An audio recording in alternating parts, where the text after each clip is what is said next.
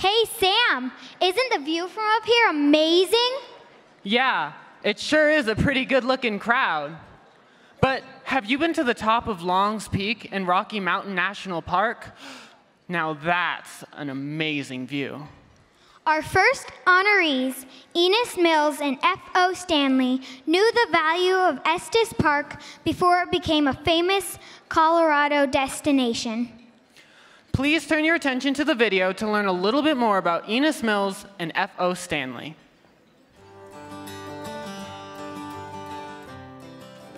Rocky's a park for all.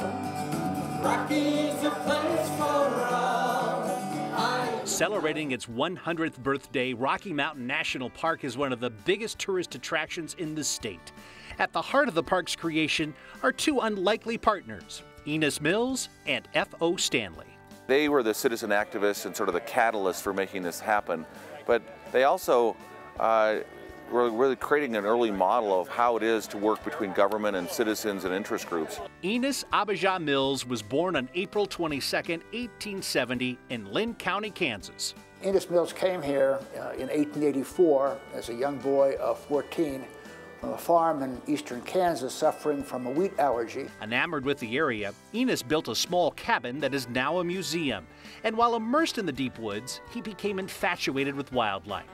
He was one of the first people in Colorado to actually study the wildlife more scientifically than the trappers or hunters had. While traveling, a chance meeting in San Francisco would change Enos's life. And that man was John Muir, uh, and the influence of that meeting was profound on Mills. It took a, young man who was rather aimless in his career ambitions and goals and turned him into one of the leading conservationists and preservationists of his time. Muir encouraged Enos to write of his adventures in the wilderness.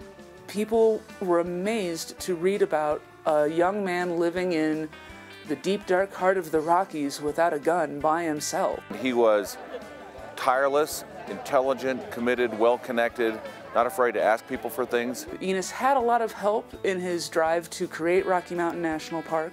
One of those was F.O. Stanley, Freeland Oscar Stanley and his twin brother Francis Edgar Stanley were born in Kingfield, Maine in 1849. They definitely had an entrepreneurial mind and this inventor's mind from the get-go, even when they were kids.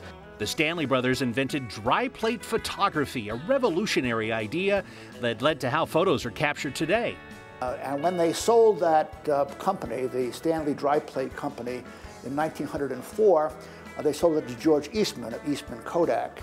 About 1900, they began to dabble in automobiles. And it was while they were working automobiles that uh, F.O. Stanley came down with a recurring case of tuberculosis.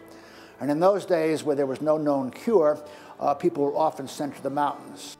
When F.O. came to Estes Park, there was barely a wagon trail up the mountain, but he was determined to drive his steamer all the way to prove that a car could make it.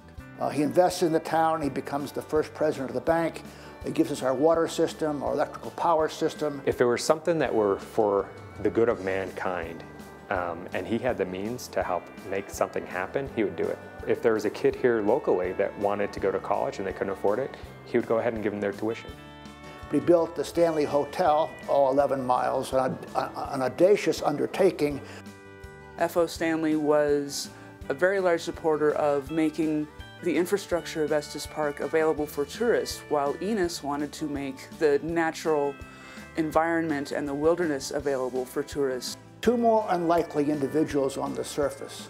Uh, F.O. Stanley, uh, the man from the East, always impeccably dressed in Eastern fashion, and Enos Mills, a man of the West, who really was happiest when he was out on the trail with his guests at the inn, talking about nature. But they came together over at, a, in a group called the Estes Park Protective and Improvement Association. Uh, Mills took the message across the country, uh, lobbying uh, uh various political groups.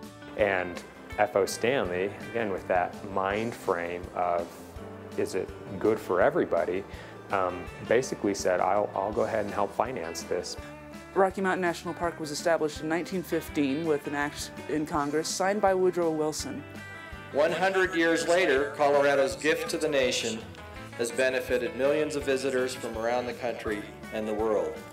Now we are here to rededicate this special place for the benefit and enjoyment of all Americans for the next 100 years. What their actions and their vision has resulted in uh, for this state and this place and this country is truly amazing.